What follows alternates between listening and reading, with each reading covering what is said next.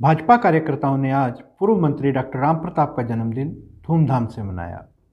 Doctor Ram Pratap के प्रयास से सेमुक्त हुए जाखड़ा वाली क्षेत्र के किसान अपनी कृषि भूमि पर पैदा की गई गन्ने की पहली उपज से घर में बनाए गए गुड़ का केक लेकर जंक्शन स्थित भारतीय जनता पार्टी के कार्यालय पहुँचे।